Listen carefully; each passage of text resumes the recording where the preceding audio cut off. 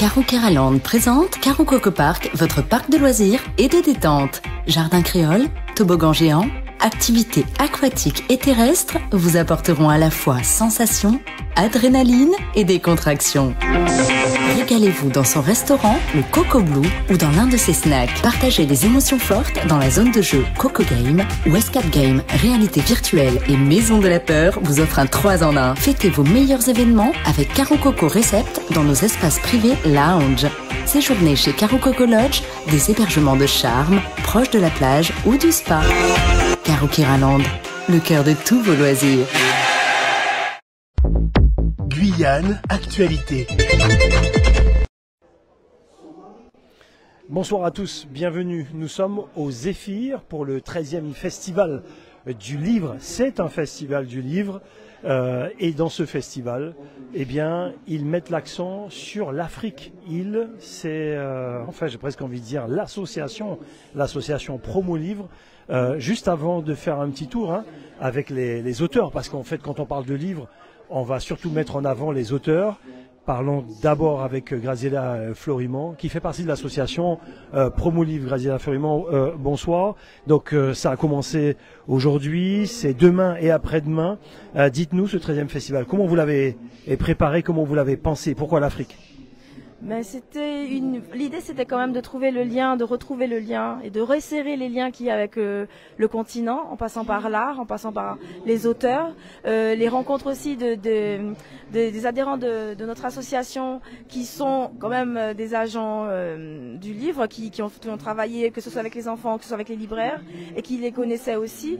L'idée c'était quand même de, de pouvoir euh, célébrer la littérature avec ce lien avec le continent africain en découvrant ce qu'ils ont à dire parce qu'on a des plumes très engagées comme Gauze, comme euh, Madame Amal euh, ou même Madame Serba et l'idée c'était vraiment ça, c'est de travailler à cette rencontre entre nos auteurs euh, avec le public et ces auteurs africains et de, mettre en valeur la littérature on va dire presque panafricaine entre les, du, ceux du continent africain, les afro-descendants et, de trouver nos points communs, célébrer nos points communs, nos différences aussi. Alors justement, il y a les auteurs euh, africains, sont des invités, et puis il y a nos auteurs euh, guyanais. Ils sont nombreux. Il y a combien d'auteurs euh, dans ce festival euh, cette année? Alors je vais être très honnête, je ne suis pas sûre du nombre. Je sais juste que cette année, il y a 30 nouveautés. 30 nouveautés. nouveautés exclusivement guyanaises, d'auteurs guyanais. Je compte aussi les auteurs auto-édités parce que ben il n'y a pas de raison qu'on les mette à l'écart vu qu'ils sont reconnus comme artistes-auteurs depuis euh, janvier 2021. Et euh, à côté de ces, donc voilà, on a des auteurs qui sont édités en maison d'édition. On a Rémi Perru-Duménil. On a aussi euh... Rémi Perru-Duménil qui est chroniqueur chez nous et qui a sorti ses chroniques en livre. Attention, venez prendre votre livre en dédicace aujourd'hui, demain, après-demain. Voilà, on a Pierre-Élie Stephenson qui est sur, en ce moment sur scène parce qu'on fait la présentation des nouveautés guyanaises et l'idée c'est de partager un petit peu leurs plumes, que les gens entendent un peu euh, leurs textes parce qu'on on, on constate quand même que les gens lisent pas si souvent que ça des auteurs guyanais, ils, ils sont pas forcément capables de donner plus de deux noms d'auteurs vrai, ou des titres de livres. Voilà, donc l'idée c'est vraiment ça, c'est de, de mettre en avant, de mettre en valeur, de, de, de provoquer des rencontres, de provoquer des débats. On a eu des débats sur l'auto-édition ce matin, sur la place de l'IA, sur le BookTok, c'est-à-dire les jeunes qui se réintéressent à la lecture à travers TikTok. Euh, on a, il y a encore plein de discussions passionnantes qui vont avoir lieu parce qu'il y a des présentations d'ouvrages, notamment celui de Léon Bertrand, euh, qui sort euh, son livre Tenir, Tenir bon, pardon si je me trompe sur le titre. On a aussi Jacques Chinon qui va présenter Absolument. son ouvrage chez les édi aux éditions Rimanet, qui, qui est une maison d'édition guyanaise. Donc on a vraiment une belle, une belle présentation. Allez, venez avec nous, vous serez notre guide. voilà, parce que je vois que vous maîtrisez votre affaire et euh, bah tenez, on va déambuler. Euh, Aujourd'hui c'est vendredi après-midi, mais l'idée c'est que les gens viennent euh, en nombre, euh, que ce soit aujourd'hui euh, également demain. C'est jusqu'à quelle heure aujourd'hui? Alors aujourd'hui et demain c'est jusqu'à 19h à partir de 9h du matin. Samedi c'est jusqu'à 20h parce que nous avons une lecture d'un auteur et cette lecture va, faire durer le, le, salon un petit peu plus tard jusqu'à 20h. Très bien. Venez euh, nous rejoindre. Hein. On sait que les gens euh, finissent le, travail, l'école euh, également, mais n'hésitez pas à venir nous rejoindre. On voit également de très très belles choses. C'était notre invité du Grand Forum, on va le saluer. il est avec nous.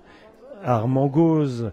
Armand Gauze est avec nous. Comment allez-vous? Nous sommes en direct euh, sur Radio Pays, maintenant une radio que vous connaissez. Venez, venez, levez-vous, Armand Gauze. Dites-nous ce que vous avez à nous, à nous proposer comme livre euh, aujourd'hui. Bah, aujourd'hui, j'ai quatre grands classiques sur cinq. Parce que je considère que tous mes livres sont des classiques. Absolument. De, de vous payer. Premier roman sorti en 2014. C'est l'histoire d'un vigile euh, de grands magasins parisiens. Sephora et euh, Sephora Champs-Élysées et Camailleux Bastille. Euh, qui dans l'ennui de son métier regarde la consommation autour de lui, qu'il décrit par des espèces de scénettes qui débunk un peu tous les stéréotypes. Parce que lui, il est là au nom d'un stéréotype. Il est là pour une fois au nom d'un stéréotype qui joue en sa faveur. C'est un grand noir.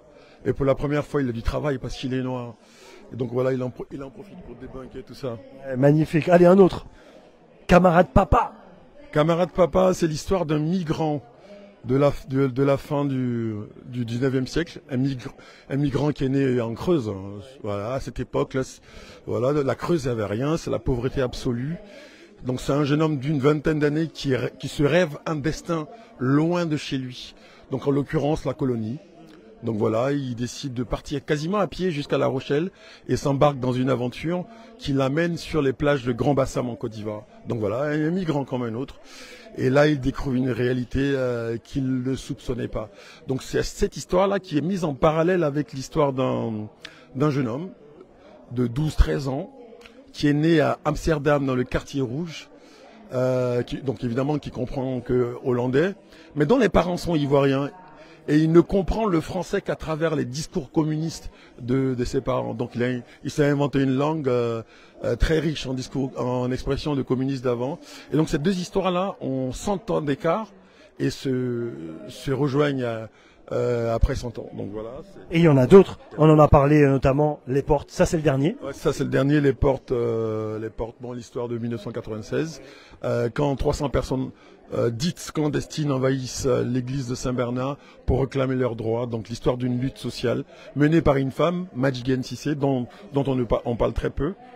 Et puis Black Manu, le style du style, le style au bout du style. Black Manu, ce sont les, en une phrase, ce sont les chroniques parisiennes d'un ancien junkie abidjanais quelqu'un qui arrive euh, complètement sous manque d'héroïne à Paris et qui constate que en fait le voyage n'est pas juste euh, le voyage est aussi un mouvement dans la tête donc il décide de se de se désintoxiquer tout seul à la dure et euh, du coup à partir de ce moment il voit la vie d'une autre manière donc voilà c'est une espèce de pérégrination dans un Paris de, de la marge et des gens qui sont à côté de la France tout en étant dans la France Venez discuter avec euh, ce monsieur. Venez voir ses livres. Et je rappelle, Noël, c'est bientôt. Hein. Offrez des livres Ah oui, pour, euh, pour, les, pour les fêtes. Toujours. Hein. Oui, toujours, et puis c'est super facile à emballer. Voilà, c'est un rectangle, c'est parfait. J'avais pas pensé. Super facile à voir. Non, mais c'est vrai.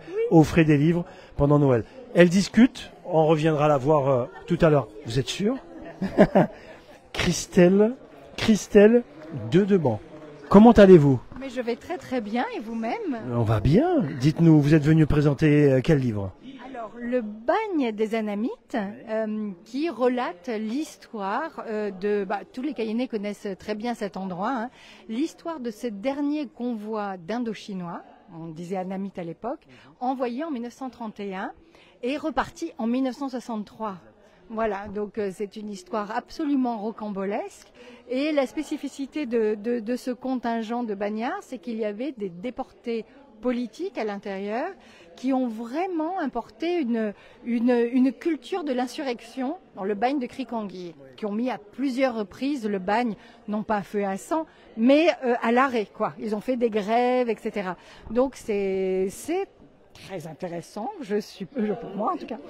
Il y a encore des traces, hein, de toute façon. Tout à fait.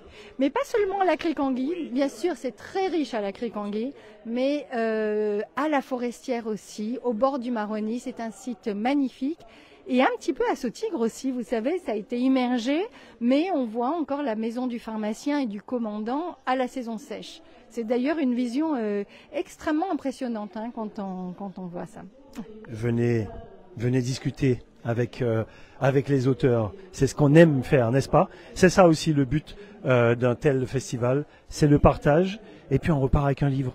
Ah mais oui, ah, pas un, dix. Enfin, un livre par auteur. Ah oui, oh, voilà. Ça fait beaucoup, hein Ça fait beaucoup, mais quand on aime lire, quand on aime découvrir, il y a énormément de choses à découvrir, il y a vraiment des choses passionnantes. Euh, 10 c'est un minimum, un minimum de livres. Mais euh, oui, voilà, c'est- vraiment les salons, parce que je suis autrice aussi. J'ai écrit sous mon nom euh, Mongrasila. Alors dites-nous le livre, c'est quoi? Ah, mon, mon dernier livre, c'est euh, Les Mouchés au bain et ses 52 vies, euh, aux éditions Ibis Rouge. Mhm. Eh ben, Expliquez-nous, dites-nous, Ah, c'est quoi? bah, c'est en fait c'était un appel à texte. Il s'agissait de mettre en valeur l'histoire de la Guyane à travers des récits, des fictions, euh, des récits contés. Et moi, c'est l'histoire des souvenirs d'un monsieur qui a vécu à Regina, de la famille Aubin, qui est très connu là-bas, qui avait une distillerie, qui avait un restaurant, qui avait euh, une série. Et c'est cette histoire de Regina quand c'était une ville industrielle. Aujourd'hui, on va à Regina, c'est un petit peu mort, un petit peu. On est au bord du fleuve, on regarde avant, on voit la belle forêt. Sauf que à l'époque, à la belle forêt, c'était des champs, des usines. Et tout a été recouvert, la, forêt a repris ses droits, et les usines ont disparu. Ce sont des hangars vides où il y a des canards qui courent, je sais pas. Et en fait, ce monsieur nous a raconté ses souvenirs et il nous a rendu vivants des bouts de, béton. Quand on ne savait pas ce que c'était, il nous a raconté, mais ça c'est ça, ça c'est ça, cette maison-là c'est ça. Et moi, je les ai mis en texte avec ma façon d'écrire, parce que j'aime, à la base, j'écris pour les enfants. Et puis cette année, je présente un livre auto-édité avec mon nom plume de romancière, s'appelle Mayra Richard. Ce sont des, des romances enfin, oui, ce sont des romances un peu douces, un petit peu plus piquantes, et avec euh, tout un tas d'histoires, avec des gens différents, comme la science-fiction, euh, l'histoire de la Guyane en- au 22e siècle. On respire plus, messieurs, dames, on doit Wow. acheter son air. Ok. Et il y a une histoire, euh, voilà, une histoire d'amour. euh, Ça donne envie de l'acheter. C'est quoi le On reviendra. Il est où le livre Il est de l'autre côté, du côté des auteurs. À tout à l'heure. Allez, je vous libère. Je vous libère. À tout à l'heure. Lise, on aime discuter avec Lise parce que regardez tout ce qu'elle fait. Et hum, c'est difficile. Il faut en choisir. euh, Allez, Lise, dis-nous. S'il faut en choisir. Oui, avec. Oui. À Kamkama, oui. Dis-nous. Makeda Sabas. Bon, c'est mon cousin, donc on se connaît bien. Lui, il est dans l'édition. C'est la famille. Oui, il est dans l'édition depuis 10 ans. Et euh, bon, quelque part, son travail au fur et à mesure m'a un petit peu inspiré en me disant, mais moi aussi, j'ai des choses à dire et à faire. Donc là, j'ai envie de vous montrer un de ses livres. Allons-y. Il est sur le podium en ce moment. Oui, absolument. Donc euh, c'est les grandes inventions africaines et afro-descendantes présentées à nos filles et nos fils. Raconte-nous. alors bon, je connais pas entièrement le livre, il vient, il vient de sortir, mais l'idée pour lui, c'est que euh, en tant que Guyanais ou, ou autre afro-descendant, où on soit conscient de, de tout l'héritage que l'on porte, de toutes les richesses qu'il y a autour euh, de, de nos anciens, de nos ancêtres. Oui, là on, on va jusqu'à l'Antiquité. Et donc pour lui, c'est important vraiment que on, on- on mette l'Afrique euh, dans nos cœurs et dans nos histoires. On n'est pas seulement guyanais, on est aussi africain. Et donc voilà, je tenais à présenter un de ses livres. Et puis il fait beaucoup de livres sur la Guyane aussi. Damas, il a un livre par exemple On va montrer. sur Damas. Il a Damas pour les enfants, Damas pour les ados et Damas pour les adultes. C'est juste là, là. Et même Adélaïde Tablon. Donc voilà des personnages que nos enfants doivent connaître. Bon, alors je vais même revenir un petit peu moi à ce que je fais. Euh, moi, je, bon, alors que lui, il va plutôt sur euh, l'Afrique et, et l'afro-descendance. Moi, je reste concentré sur la Guyane parce que c'est mon territoire d'ancrage, comme j'aime dire. C'est le territoire où nos enfants grandissent. Et c'est bien en librairie de voir plein de livres qui viennent d'ailleurs, mais on a envie que cet espace-là soit aussi rempli de ce que nous sommes. Donc chacun à sa place et nous, nous voulons créer la nôtre au fur et à mesure. Donc moi j'avance à petits pas avec édition Mayuri et Duc. Il y a eu Vaillant, comme je le disais, saison Wara, Vaillant saison Atipa pour l'estime de soi. Et puis il y a de A à Z. Euh, voilà, c'est euh, un livre pour, euh, à travers des animaux, un petit peu s'interroger sur notre manière de vivre. Donc ce sont des poèmes animaliers, c'est un abécédaire de A à Z, que des animaux de Guyane, bien entendu. Et à la lecture, eh bien, on s'interroge parce que les animaux, c'est un peu nous-mêmes. Et il y a un, comment dire, une, phrase pour un débat philosophique au bas de chaque poème, ce qui fait que cet ouvrage peut s'adresser à des jeunes enfants pour un premier niveau de lecture, mais aussi aux grands, collégiens, voire lycéens. Donc j'ai vraiment envie que, ce livre soit connu, d'autant que j'ai quand même beaucoup travaillé avec d'autres personnes euh, pour faire des, euh, comment dire, des documents pédagogiques qui sont gratuits, qui sont sur mon site. Et ça, j'ai envie que tout le monde en profite. Et puis, euh, il y a les coloriages, on en, on en a parlé l'autre fois. Oui, oui, bien sûr. Filmer les coloriages, parce que Vas-y, Pedro. là, au moins les couvertures sont magnifiques. Donc, Mathieu Beaufort, est C'est ton fils? Oui, mon illustrateur de fils, et qui, euh, qui aime beaucoup ce qu'il fait et qui a mis beaucoup de cœur à faire ces cahiers de coloriage qu'on peut se procurer. Donc euh, franchement, bientôt les fêtes, acheter des livres, c'est ton credo. Hein? Absolument. Acheter des livres. Voilà. Et puis, euh, c'est les fêtes, euh, donc euh, c'est les cadeaux de Noël qu'on vous offre. Merci, Lise. Allez, on continue. Euh, alors, aujourd'hui, c'est vendredi, hein. On va pas se mentir. Vendredi. Comment? Merci, Pedro. J'ai dit que c'est vendredi. Aujourd'hui, c'est jeudi.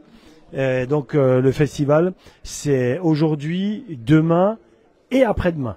Donc, on, va, on va se dire la, vérité. Vous voyez, il n'y a pas grand monde aujourd'hui. On espère que vous allez venir demain, vraiment. Et puis, on va s'arrêter. On s'arrête dans les stands et notamment dans celui-là. Et il y aura une présentation. Bonjour. Bonjour, Alors, dites-nous. Nous sommes en direct sur euh, Radio Pays. Nous sommes chez qui? Plume Verte. Plume verte. Alors, euh, s'il fallait choisir, allez, deux livres à nous présenter, ça serait lesquels? Ah, pas facile, hein, je sais. Ah, je le connais celui-là. Dites-nous. C'est un livre de Nadine Léo, c'est une adaptation des Fables de La Fontaine en créole guyanais. Je l'ai reçu pour ça. Je l'ai reçu. Voilà, donc, euh, alors malheureusement, ça sera pas avant samedi qu'on Oui. aura une séance de signature ici euh, pour cet ouvrage. Samedi pour la séance de signature. Pas raté, hein, surtout. Ah, Nadine sera là? Ouais, Nadine sera là. Nadine sera là. Voilà. Je, c'est, génial. Elle est venue en parler euh, euh, dans le grand forum. Un deuxième? Mais je sais. Je sais, je sais. Ouais. Vous, vous avez fait quoi, vous? Ah oui, c'est vous qui avez fait ça J'ai vu. J'ai vu, c'est magnifique. Ah bah. Il y a de très belles photos. Racontez-nous pourquoi vous avez fait ça. J'allais vous parler de celui-là. que Non, mais on va parler de celui-là aussi. Ça, c'est Madame Thibaudot. Voilà, on va en parler tout à l'heure. Bah, Dites-nous. Alors, présentez-vous, Débat. Ah, Thierry Montfort. Voilà, Thierry Montfort, que tout le monde connaît. Dites-nous. Euh, bah, c'est c'est un- c'est le dernier bouquin que j'ai fait. Je pense que ça sera vraiment le tout dernier parce que bon, la photo euh, c'est un petit peu derrière moi malheureusement Euh, et c'est un comment dirais-je euh, un florilège de ce que j'ai pu faire pendant une vingtaine d'années, les dernières années du, de l'argentique et les dix premières années du numérique. C'est pour ça que je l'ai appelé 7000 jours en forêt. Ça fait grosso modo une vingtaine d'années, si je compte bien, ce qui est pas sûr. Et donc, Les photos sont magnifiques. Juste deux, trois photos en, en direct, euh, mon cher Pedro. Ouais. Allons-y. J'ai une petite faiblesse pour tout ce qui rampe. euh, c'est- Ah bah mince. Alors, bon, tiens. J'aurais dû vous laisser choisir parce que Non, non, non, non, mais c'est, c'est, voilà. Entre autres, entre autres. Venez découvrir. Et parlez-nous de euh, Madame Thibaudot, Huguette Thibaudot. Madame Thibaudot est venue nous voir euh, il y, a, oh, il y a déjà un bon moment, hein, avec un projet qui était euh, celui-ci et qui était hyper bien ficelé. On n'a pratiquement rien eu à faire. Oui, oui. Elle avait tout, tout, tout drivé. Euh, les photos ont été faites par Nathanaël euh, au feng shui.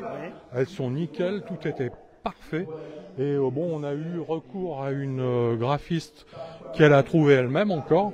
Et puis ensuite, euh, bah, on a sorti le livre, on l'a ressorti et il continue à être un succès. quoi. Et je confirme, tous tous ces auteurs qu'on a reçus hein, d'ailleurs dans le grand forum, parce que Madame Thibaudot est venue nous en parler aussi, et dans le grand forum, et il y a tout, vous l'avez dit, hein, tout est là, tout est là, vraiment. Elle est passée nous voir au Plume d'Armire là, il y a quelques semaines.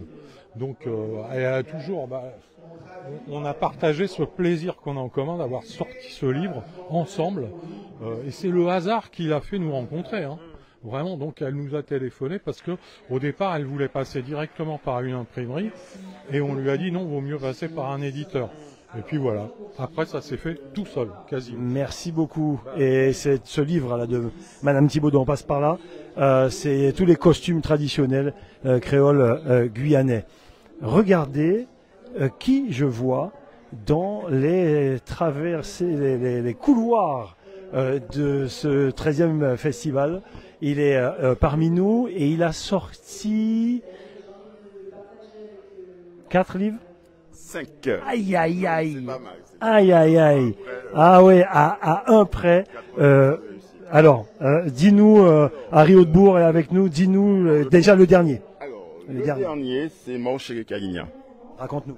Alors, les Caligna, c'est euh, un petit polar qui, qui se lit assez vite, euh, ben, qui se passe en Guyane, euh, dans, dans l'île de Cayenne, mais en pays Caligna, à Ouagaga, Limapo, une énigme autour du mythe de l'homme jaguar. Voilà, de l'homme Voilà. jaguar. Donc à découvrir. Et puis, alors, l'homme jaguar, la transmutation de, de certains hommes qui ont certains secrets, des chamans, des nuits de presque lune en jaguar. Euh, moi, perso, c'est c'est du fake. Hein. C'est voilà. Auc- aucun animal n'a été tué, par contre. C'est c'est- c'est- c'est du synthétique. Je ne suis pas un homme jaguar, offi- officiellement. officiellement. Non, c'est bien de le dire. Oui. Et on va en parler bientôt euh, dans le grand forum, c'est ça? Ok. Et puis, et puis, donc ça, tout dernier, il y a euh, Pikideng Pikideng. Ça, c'est l'avant-dernier qui est sorti en mars. Beaucoup de succès. Petite euh, rupture chez le libraire. Donc, je ramène demain. Donc, Pikideng, Pikideng. donc, il y en aura. Le libraire n'en a pas emmené sur le stand, là, parce qu'il n'y en a plus. Mais Pikideng Pikideng, il en reste encore quelques-uns. Vendredi et samedi ici.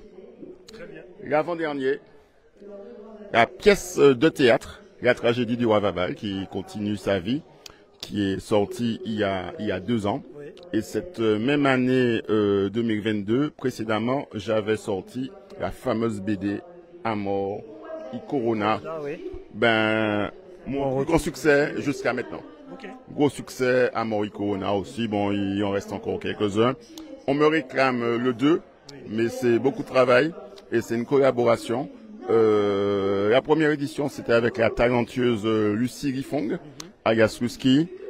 Et euh, pour la deuxième, euh, un autre jeune euh, illustrateur guyanais. À venir, de toute façon, euh, si Dieu me prête vie, il y aura des nouveautés à Yotbo en 2025 dans les librairies. Très bien, on attend cette surprise. Merci beaucoup, Harry. On va revenir. De toute façon, on est là aujourd'hui. On passera demain également euh, euh, pour euh, aller discuter avec les différents euh, euh, auteurs. Et puis, que vois-je ici? Les fruits du soleil. Eh ben, son auteur viendra nous en dire un petit peu plus. Allez, viens, viens, euh, Pedro. Les fruits du soleil, ça doit être le dernier livre euh, de l'auteur. Comment allez-vous? Alors, parlez-nous de ce livre.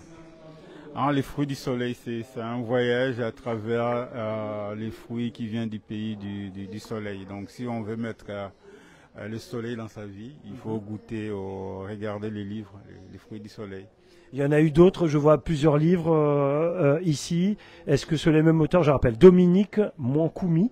D'accord? Vous, vous venez d'où? Dites-nous. Euh, je suis originaire du, du Congo. D'accord, très bien. ex- Première fois en Guyane? Non, c'est la troisième fois. Il y a 20 ans, j'étais déjà ici. Donc, euh, et ça, c'est la troisième, la troisième fois que je viens en Guyane. D'autres livres? Oui, j'ai la- le pêcheur waguénian donc du, du Congo. J'ai les petits acrobates du fleuve. Euh, j'ai mon premier qui est là, la, la pêche à la marmite. Et celui-là, c'est le dernier que j'ai fait avec euh, Scholastic euh, Mukasonga, donc qui a gagné le prix Re- Renaudot euh, récemment. Et puis voilà, donc c'est c'est une histoire. de- Du Rwanda aux plages du débarquement. Voilà, voilà. Donc euh, c'est- 1944-1994. donc celui-là, c'est sorti au mois de mai. D'accord. Donc j'ai collaboré avec elle, j'ai fait des illustrations de son histoire. Très bien. O News Radio sur outremernews.fr. O News Radio sur outremernews.fr.